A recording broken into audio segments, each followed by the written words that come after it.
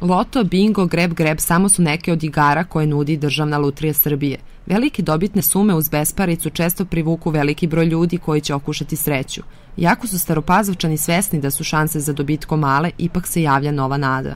Uplaćujem e, loto dve kolone, a bingo uzimam jedan ceo. Igram loto, ali naš nikad ništa nisam dobio. Bingo pretežno i tako neke grebe. Igram nedeljno jedan put. Igram loto otprilike dva, tri puta mesečno, niski iznosi. U državi koja prolazi kroz tranziciju lak način da se dođe do novca predstavlja san svakog čoveka. Najuporniji su i dobijali, a u staroj pazovi se veruje u potencijalni dobitak. Jedno par puta zamjene i jedan put sam dobio ne znam koliko da sam mogla kupiti jedne cipele. Verujem u to da može se dobiti. Novčane ono oko hiljada dinara i tako nešto. Veliki sam optimista uvek e, bila i tako da iščekujem naravno. Dobijam po pecu, četvorko. Redovno ili povremeno igra oko 3,5 miliona ljudi, a svake nedelje samo sedmicu na loto u juri do 500.000 ljudi.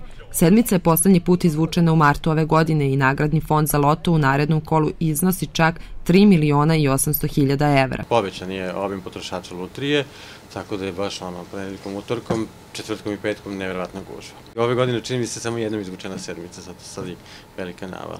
Procenjuje se da prosečan igrač loto u Srbiji potroši mesečno 1000 dinara. Siguran način do novca je radi pa zaradi, ali dok ne košta puno može da se okuša i sreća. Nikad se ne zna, jer ko igra, taj i dobija.